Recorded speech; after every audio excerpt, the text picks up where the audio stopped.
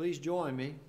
Mark your Bibles to Acts chapter 26, verses 22 and 23. After you have marked that, turn to Acts chapter 7. We'll be reading verses 57, 58, and then we'll drop down and read chapter in chapter 8, verse 1.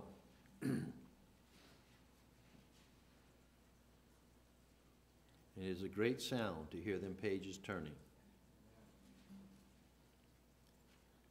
Acts chapter 7, verses 57, 58. Then they cried out with a loud voice, stopped their ears, and ran at him with one accord. And they cast him out of the city and stoned him. And the witnesses laid down their clothes at the feet of a young man named Saul. Acts chapter 8, verse 1. Now Saul was consenting to his death.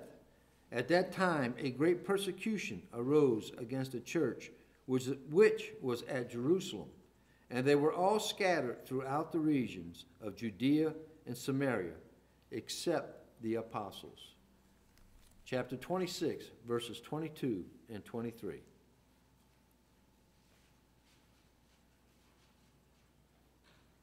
Therefore, having obtained help from God, to this day I stand, witnessing both to small and great, saying no other things than those which the prophets and Moses said would come that the Christ would suffer, that he would be the first to rise from the dead, and would proclaim light to the Jewish people and to the Gentiles. Please be seated.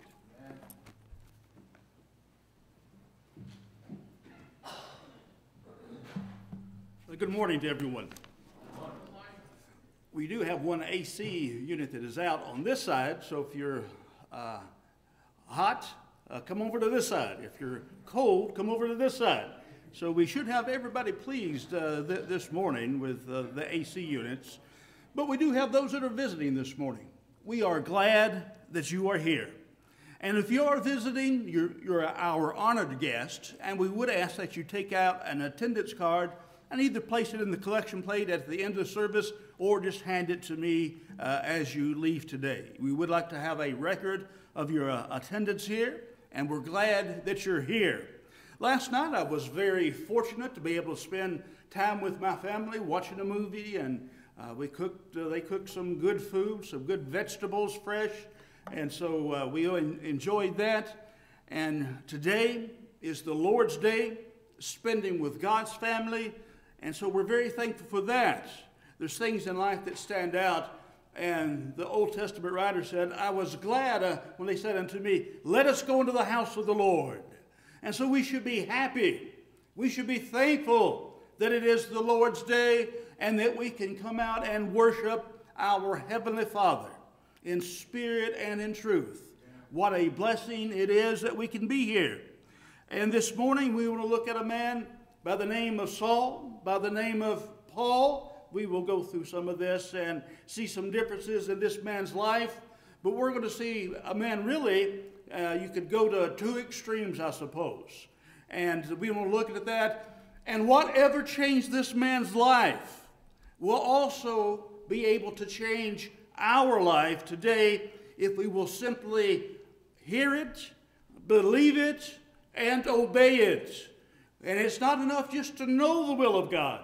We must live by the will of God. We read, read, read, here when we meet the man, uh, Saul of Tarsus, Acts 17, verses 57 and 58. Then they cried out with a loud voice and stopped their ears and ran upon him with one accord and cast him out of the city and stoned him. And the witnesses laid down their clothes at a young feet, man's feet whose name was Saul. And this is the event where Stephen, a gospel preacher, was put to death because he proclaimed the word of God. And one that was there that day was Saul of Tarsus.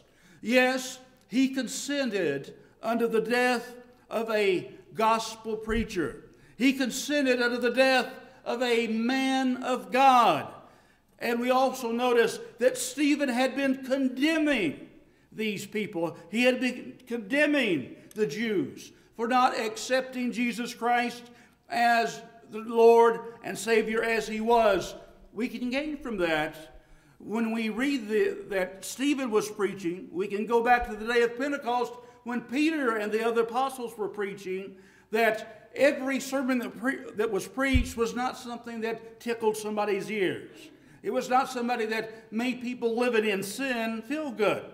Because if we're living in sin, we should not feel good about it. We should never feel good because we're in sin. And somebody that is proclaiming the Word of God we are not here to make people feel good in sin. We are here to show them the Word of God, how to come out of sin, that the blood of Jesus Christ may wash away their sins.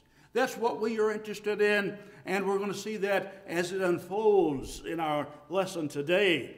And we also read in Acts 8, verse 1, really a continuation of what we see uh, in, in Acts 7. And it says, And Saul was consenting unto his death. He consented unto the death of a gospel preacher. Yes, this is a good thing that we're doing. Do you realize that Saul of Tarsus, stop and think for a moment, he is serving Satan at this moment. You think, how could a man that becomes an apostle and does as much work what, as what he does, how could he be one that is actually serving Satan? He is, and we have it recorded for us in the Word of God he is consenting, holds the garments while they stone Stephen. You take care of business, and I'll take care of your, of your garments, garments while you do so. So he did that, and he was persecuting the church. Then we also go further, and two verses later, Acts chapter 8, verse 3, and it says, As for Saul, notice this, he made havoc of the church, entering into every house and hailing men and women, committed them to prison. He went into people's houses. Those that were Christians, he would find out who they were. He would go in and see where they lived. He would go and help take them to prison because they're serving this Jesus of Nazareth. And Paul, well, Saul at this time, as he was known, was considering Jesus Christ an impostor. Think about that for a moment. He considers Jesus Christ an impostor. He's not the Savior of the world, He's not the one that God has sent. And is it that why they put him on the cross to begin with?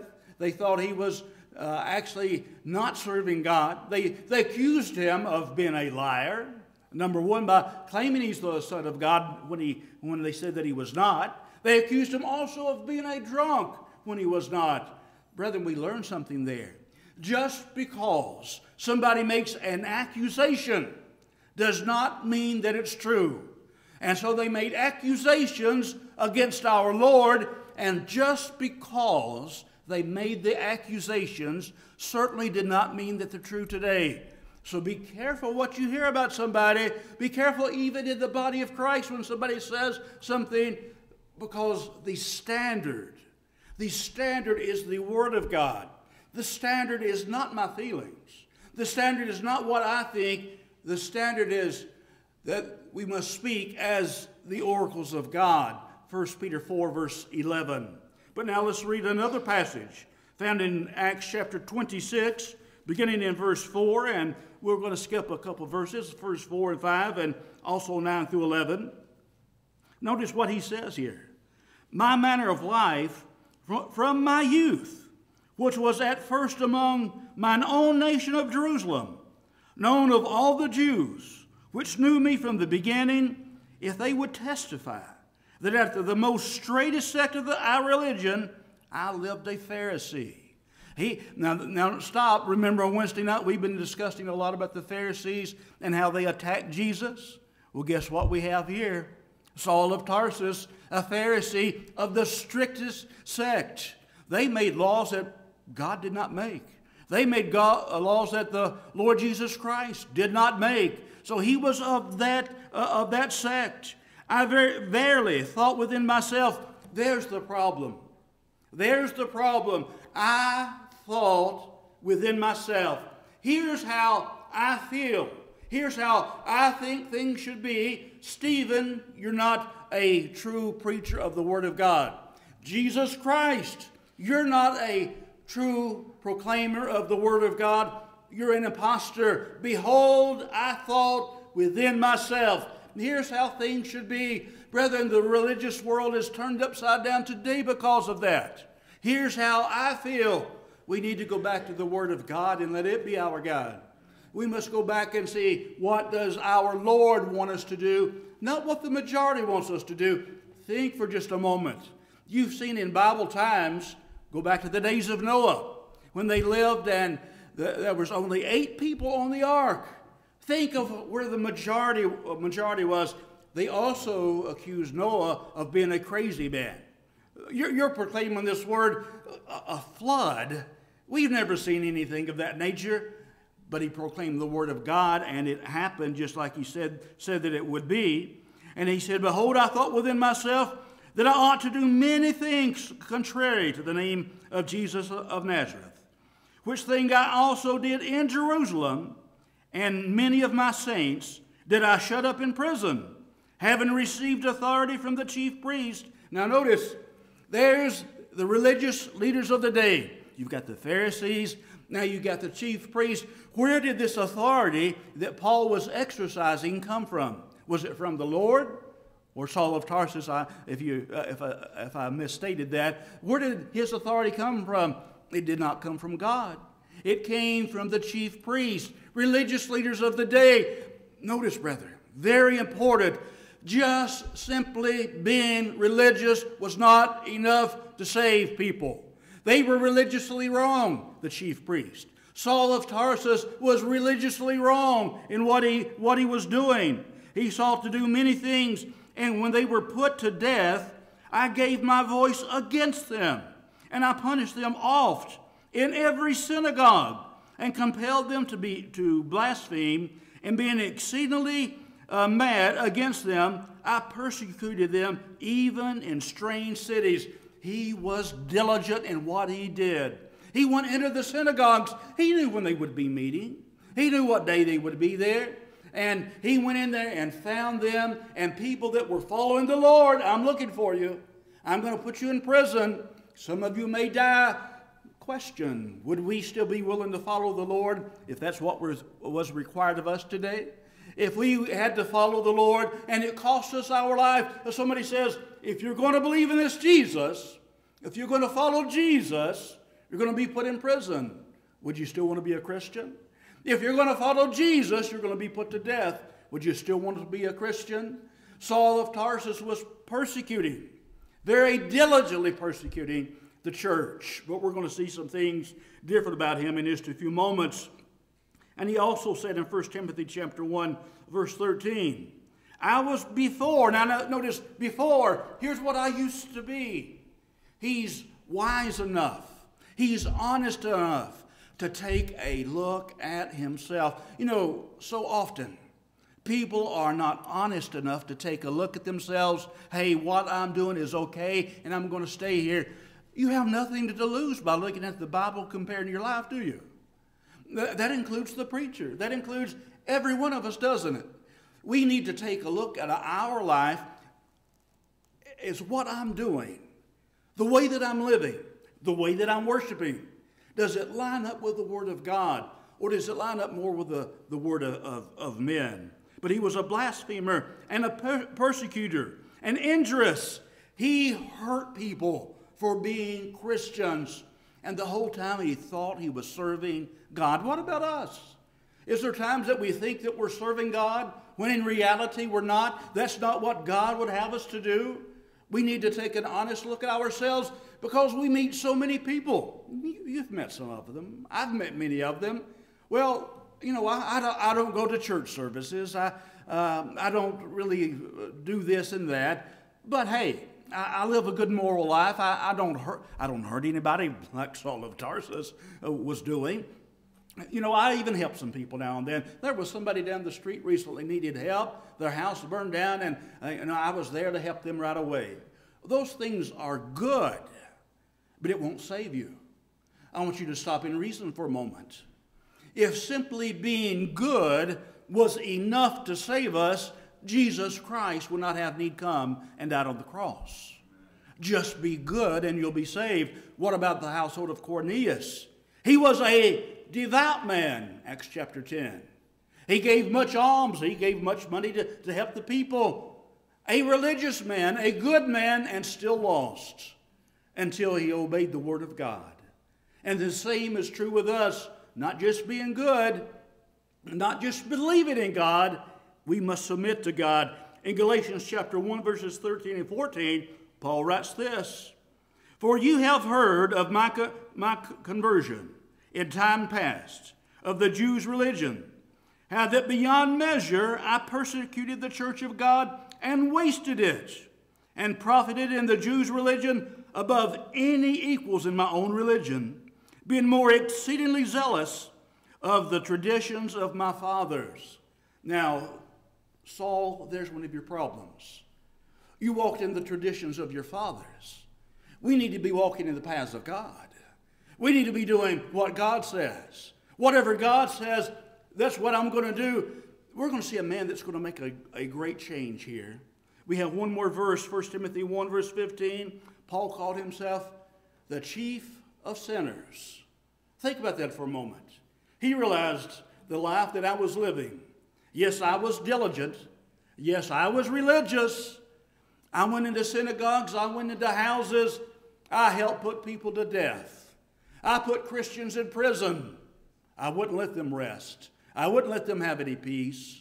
This religious man is going to make a change. Here's what we need to look at in our lives. Do we need to make a change?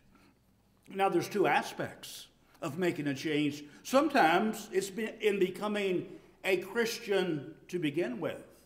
Some people, like Saul, thought they were doing right, and in essence, they find out they're not doing what is right.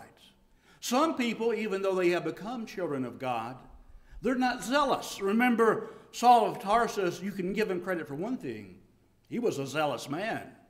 And that's something that we learn. We must be zealous for the cause of God, not being content and just being, well, I'm a member. You know, my name is written in the directory. Where we want our name written is in the Lamb's Book of Life. That's what matters, not what some directory says. The directory can't save you. Man can't save you, but the Lord can. The Lord can save you if you'll serve Him. Reread this now. We're going to see a change that takes place. And whatever changed this man will also change us. We notice beginning in the book of Acts, chapter 26, verses 22 and 23. Having therefore obtained help of God. He's gone to the right source now. He's gone to where he can truly find the help. I can find help of God. He says, I continue unto this day, witnessing both to great and to, and to small, saying none other things than those which the prophets and Moses did say should come, that Christ should suffer, and that he should be the first that should be uh, rise from the dead, and should show light unto the people and to the Gentiles. Now, this Jesus, whom he was persecuting, now he's proclaiming. That's a drastic change, isn't it? This chief of sinners has made a change. This man that was a Pharisee and uh, diligent above what his countrymen were doing, of the strictest sect, he's made a change. How did he do that? by God's help. You ever seen anybody says, "Well, I'm gonna I'm gonna come and give my life to God when I get my life in order." You ever seen anybody do that? I, I know of somebody that did that, and you have to explain to them how are you going to get your life in order until you give it to God. It's an impossibility. We must follow God first. That's what Saul of Tarsus did. Now I'm giving it to God rather than my fathers and my countrymen just what your countrymen say, they can't save you.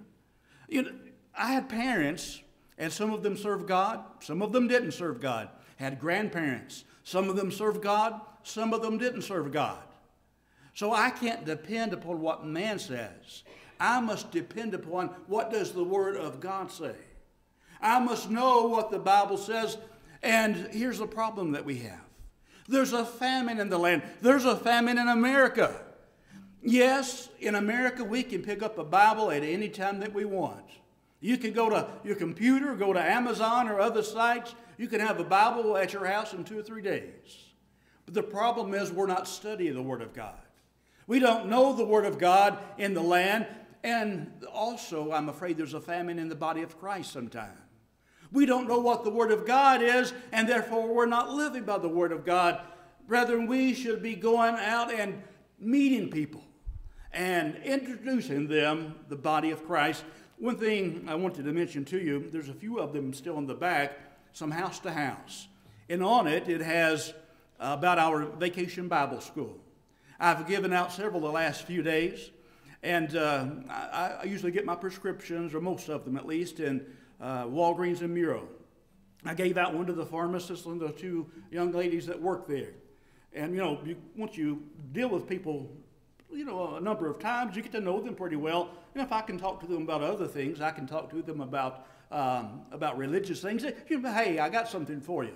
Well, the pharmacist came over, and one thing, they turned the page. And I don't know if you've seen this one, but I can give you this one. Uh, Brother Webster does a great job with House to House to begin with. Give him credit for that. But they have some things in there a little bit more on the lighter side, along with some things that are uh, very serious, of course. But one of the things, I, and I could hear them, the pharmacists and the, uh, the people that work with them talking about and, and laughing about. There's a little paragraph in there. It says, Father talking to Son. Father says to Son, when, when Lincoln was your, your age, he was making a living for himself. Son says back to the father, Yeah, and when he was your age, he was president of the United States. I, I could hear them talking about that and laughing in the back. You know, there's actually a moral to that story, isn't there? Be careful about judging. There, there's actually a moral to that story, but also by putting those lighter things in there, I think it gets people's attention a little bit. And yesterday, uh, me and Jess has uh, gone uh, headlong into planting plants and things, and we'd stopped up to this place uh, right beside Chase Bank there, for, forget the name of it, and gave one to the lady. I, would ask her a question. We were looking for something they're actually going to get for us. And um, my hometown, you, some of you may remember, uh, Warren County, Tennessee, McMinnville, Tennessee, is the nursery capital of the world. So I thought, well, I want to ask you a question. Have you ever bought anything from there? And they had indeed. So uh, you, make a, you make a connection. And then uh, since they're ordering something, I, well, here's my number. What happens to be on the house to house? They read the same paragraph. People laugh about that. And, and you make a connection. Brethren, as children of God, we need to be making a connection with the, with the people in this world. There's still people out there that want the gospel.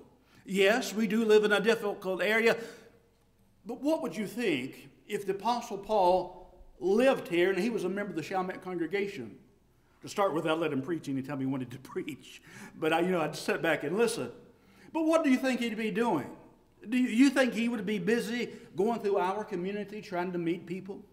Do you think he would be busy trying to spread the gospel of Jesus Christ in our community?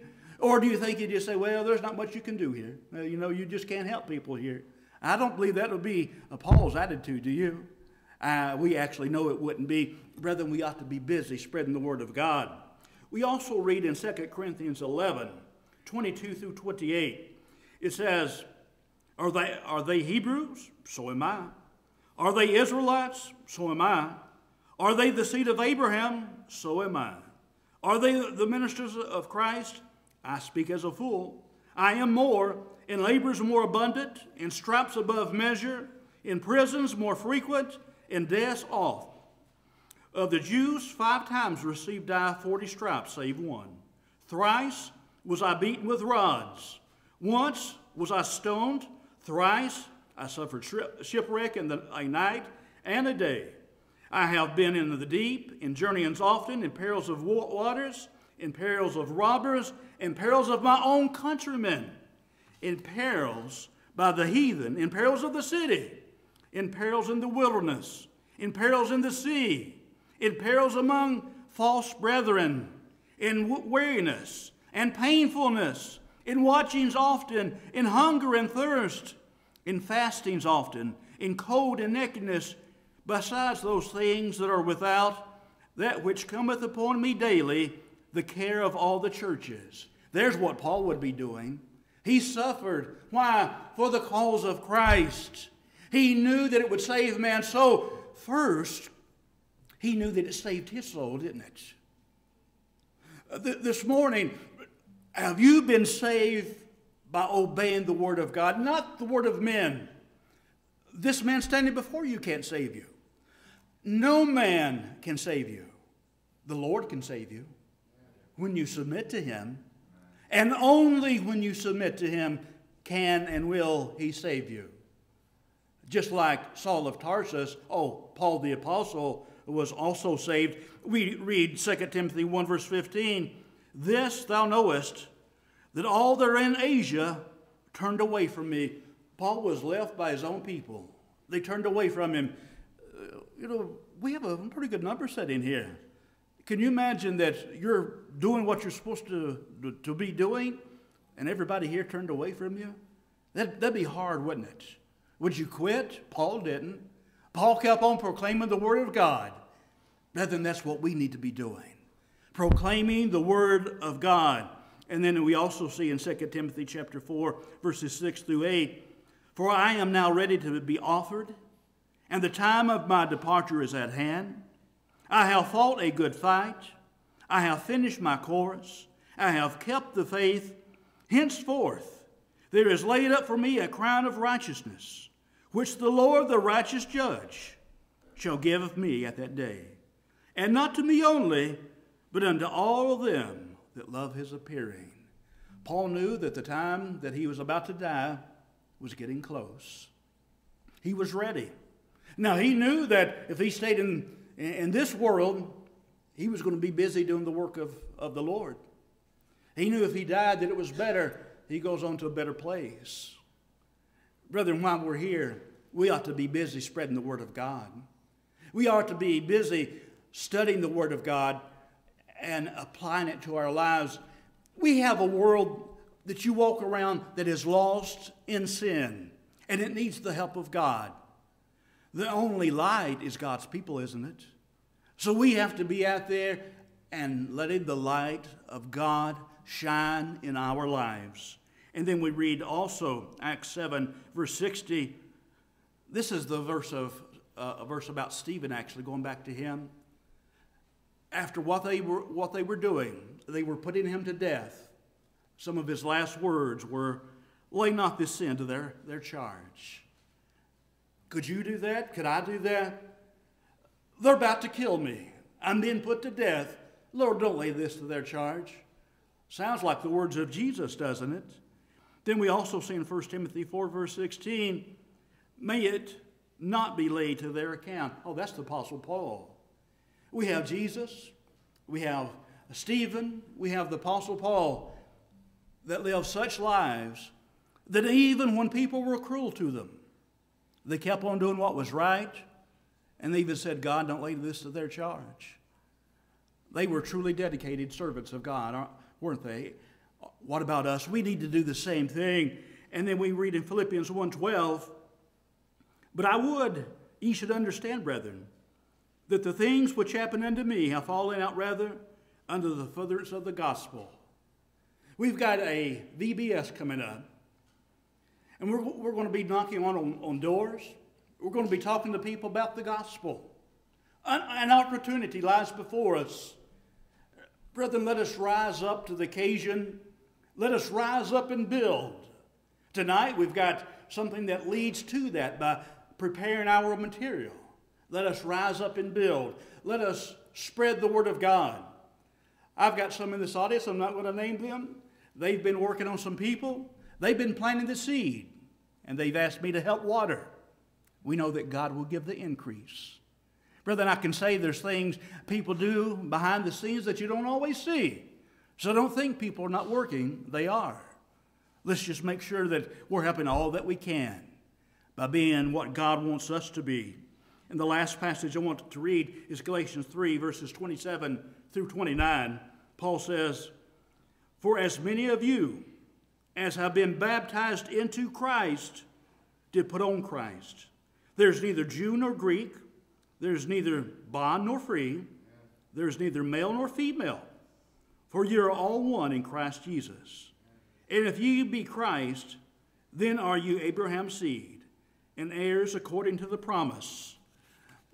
What about us? Have we been washed in the blood of Christ? That's the, in that passage, he tells us that we're baptized into Christ. You know, the spiritual blessings, all of them are, are in Christ. Salvation is, is a spiritual blessing, it's in Christ. So we have to be baptized in order to gain those spiritual blessings. We have to be baptized in order to be saved. Now, sometimes people are baptized and they, they say, well, it shows I was already saved. That's not what he said, though, is it? So some people have to be baptized according to the will of God. There's something, and this I want to give credit to James Boyd and some of these notes. Um, don't blame everything that I said on him, but uh, uh, I want to give credit. But there's a point I want to make here, a very valid point that he makes. And James Boyd's the father of Bill Boyd that held our meeting. But uh, brother James Boyd, it's hard for me to. I call Bill Bill, but I can't call him. I had to call him Brother Boyd. But anyway, years many years ago, uh, he went to Freed Hardeman. It might might even been college at that time, but he went to college with a man that was served under Hitler uh, and and his regime. And so when the war was over, the Germans lost. You know, you know just a little bit about history. He was back in Frankfurt, Germany. He lost everything that he had, and serving under Hitler. Um, nobody wants anything to do with you now. You, you know, you know how they felt about the, those people. Well, there was a man, the first missionary there, one of our brothers in Christ, a man by the name of Otis Gatewood. He taught the man the gospel. That man was baptized into Christ, just like we just read about. That man went to college with Brother Boyd, went back to Germany, and proclaimed the Word of God as a gospel preacher. That's changing your life, isn't it? You saw how it changed Saul of Tarsus. Here's a man that served under Hitler's regime, had nothing left when it was all over, but became a preacher of the gospel of Jesus Christ. There's power in the word, isn't there? Uh, rather than obey the word of God. This morning, if you have not been baptized into Christ, would you do that? If you are a child of God, are you serving fervently with all your heart? There is a verse in a song that we, well, first we see in 1 Peter chapter 1, verse 25, it says, The word liveth and abideth forever. Brethren, the word does that for us. But a passage, a, a verse in a song says, Take my life and let it be consecrated, Lord, to thee. Are we doing that with our lives? Giving it completely to the Lord. We can't serve God with conditions. God, I'm serving you, but here's my condition. No, we must serve God on His conditions. See, He's the one that gives the rules. He's the one that makes the uh, gives the commandments. This morning, if you're not a child of God, or if you need to correct something in your life, or simply need prayers for strength, the Word of God serves its purpose. Will you come as we stand and as we sing? Oh.